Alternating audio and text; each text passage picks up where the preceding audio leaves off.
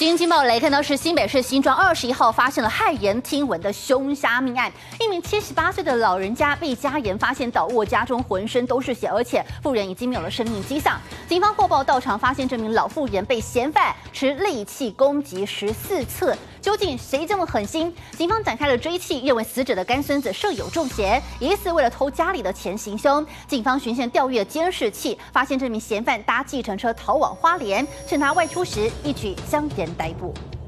李姓男子攻击干阿妈致死，用外套把偷来的钱包紧紧逃到花莲朋友家，却在出门买烧烤时遭到逮捕。我们现在更低低补。保持前后无序违背自己的意思的陈述。大批警力上前把嫌犯压制，他没有反抗，神情异常冷静，似乎整起凶杀案与他无关，都很正常。我我是看到他手上有那个，好像就是白色带胶带，有没有？好像哦，两两只手有有受伤的，有受伤，哎，两只手都有受伤。过程神情都盖进去，都很正常，都没有什么。光伟也是很很正常。二十一号下午，李姓男子到死者住处，恶性不改，再次伸手要钱。干阿妈形同拒绝后，惨遭十四刀攻击致死。嫌犯行凶后，回到租屋处变装，再搭乘计程车到林森北路一家按摩店按摩舒压。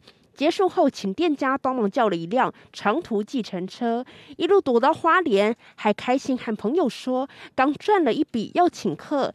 态度冷血，连警方都直摇头。经过我们了解之后啊，发现这歹徒非常的狡猾，曾经变装，多次分搭哦多辆的计程车啊，意图制造断点来逃避警方的查缉哈。新庄花莲警方联手搜查花莲上百间民宿及旅店，都没有找到嫌犯踪影。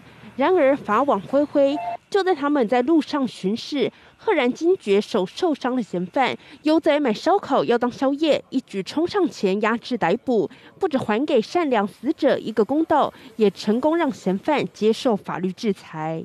记者天上坦克摩耶森之小组新北市采访报道。而这名嫌犯原本是邻居的未婚生子，这名阿妈当起保姆，从他六个月大就开始照顾。没有想到上了高中之后叛逆逃家，被赶回了原生家庭。今年四月开始陆续回家讨钱，直到今年八月，死者的儿子看不下去，帮他找了租屋处，还带他当工程学徒。怎么样也料想不到，母亲这几十年前的善心，如今换来这样的悲剧。为什么要杀阿妈？是因为缺钱吗？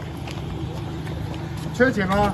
双手上铐，戴着眼镜，身穿灰色 polo 衫，低下头，什么话都不肯说。李姓嫌犯年仅二十岁，狠下心杀害干阿妈，而不止干阿妈，连家人们都对他视如己出。后面我只看不了啊，我今天只当故意要拉他一把，因为他真的外面没有朋友，没有亲戚啊，连舅舅都不理他了。我讲，我若无甲看，死者儿子透露，二十岁的李姓嫌犯其实是邻居女儿未婚生子，阿妈不忍心从嫌犯六个月就开始照顾抚养他，直到上了高中后叛逆逃家，被赶回原生家庭。今年四月，嫌犯又现身回家，就是要讨钱。直到三儿子看不下去，也怕增加家庭困扰，心软，在八月除了帮他找租屋处外，干脆收他当学徒，一起做保温工程。一主持人传个大汉的那种可能是安呢，然后就是一直原谅他，然后婆婆就是说，哎，给他。几千块啊，哈，他可能回来要钱，就给他几千块、几百块去做收回呀，哈，你用就这样子，就是就是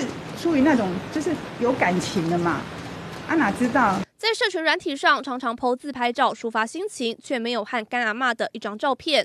死者把嫌犯从小拉拔长大，怎么样也没想到为了钱狠心杀害阿妈，家属无法接受当初母亲的善意，却是换来这样的结果。记者陈佳明、苏佩宇新北市采访报道。